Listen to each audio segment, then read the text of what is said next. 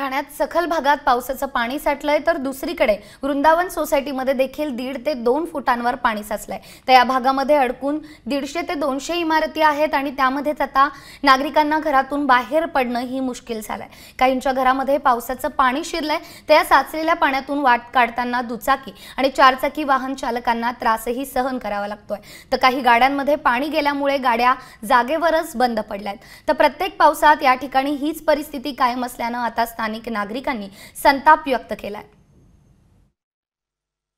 गेल्या चोवीस तासामध्ये मुंबईसह ठाण्यामध्ये जे आहे मुसळधार पाऊस सुरू आहे आणि ह्या पावसाचा फटका जो आहे ठाणेकरांना पडलेला पाहायला मिळतोय. तुम्ही पाहू शकता ठाण्यातील ही उच्चभ्रू श्रीरंग सोसायटी आहे.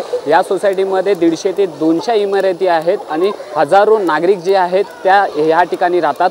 मात्र जर रात्रीपासून जो पडलेला पाऊस आहे त्याचा परिणाम जर तुम्ही पाहितला तर ह्या पावसाचं पाणी जे आहे येथील सर्व सोसायट्यांपर्यंत पोचलेलं पाहायला मिळतंय. सोसायट्यांचे जे नागरिक आहेत ते खाली उतरायला घाबरत आहेत. त्यामुळे जे आहे ह्या नागरिकांचं जी जनजीवन जे आहे कुठेतरी विस्कळीत झालेलं पाहायला मिळतंय. या ठिकाणी गुडघाभर पाण्यामधनं जी लोकं आहेत ती प्रवास करताना पाहायला मिळत आहेत का पाण्यामध्ये काही ठिकाणी गाड्या ज्या आहेत त्या डुबलेल्या आहेत. तर एक दुसरीकडे जे आहे बच्ची कंपनी जी आहे ह्या पावसाचा आनंद घेताना पाहायला मिळतात. ह्या पावसामध्ये ते मजा मस्ती करतायत. मात्र इथली जी लोकं आहेत ती सोसायट्यांमधनं बाहेर पडत नाही आहे गुडघाभर पाणी भर भरलेलं आहे. ठाणे महानगरपालिका जे आहे आतापर्यंत नालेसफाई गटार सफाईचा मोठा दावा करत होती. मात्र हा दावा जो आहे मोठ्या प्रमाणात फोल ठरलेला पाहायला मिळतोय. या ठिकाणी जे जे ड्रेनेजची जी लाईन आहे गटार आहे जी नाले आहेत ती संपूर्ण तुडुंब भरलेली आहे आणि ह्या गटारांचं पाणी जे आहे या ठिकाणी तुंबलेलं पाहायला मिळतंय आणि हेच पाणी जे आहे लोकांच्या सोसायट्यांपर्यंत पोचलेलं आहे. ठाणे महानगरपालिकेचं आपत्ती व्यवस्थापन या ठिकाणी पोचलेलं आहे. ज्या ठिकाणी बिल्डिंगमध्ये इमारतीमध्ये काही लोक अडकलेली आहेत त्या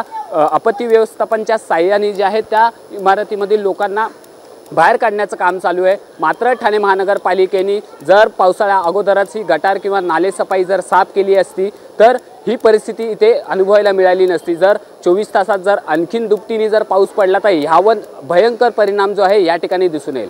Nikesh Shardul M news Thane.